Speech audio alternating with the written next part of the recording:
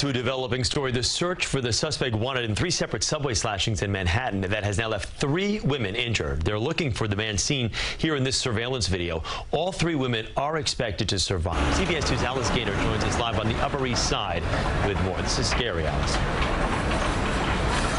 Very. We're at the 86th Street Lexington Avenue subway station. All of these attacks took place yesterday. Police say it's here that two women were attacked, and then a short time later, this suspect allegedly slashed a third woman at another location. Now they're trying to capture him before he can hurt anyone else. This is the man police are looking for. On Sunday at 4:14 p.m., they say a 19-year-old woman was exiting a 4 train at the 86th Street Lexington Avenue subway station.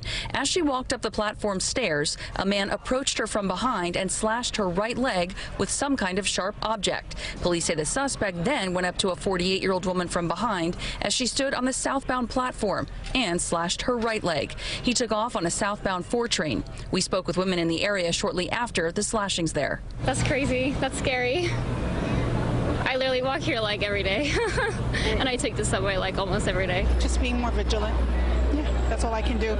It's New York, unfortunately. A short time after those two slashings, at 4.32 p.m., police say while on the train, he approached a 28-year-old woman who was sitting and slashed her left leg with a sharp object as they were approaching the Brooklyn Bridge City Hall station. The suspect, they say, exited at that stop and was last seen fleeing through the Chambers Street subway station exit. According to the NYPD, felony assaults in the subway year to date are down 269 in 2022 compared to 248 for 2023.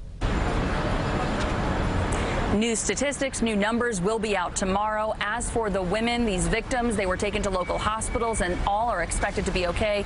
If you know anything about this man they're looking for, call police. Live on the Upper East Side, Alice Gainer, CBS 2 News. Alice, thank you.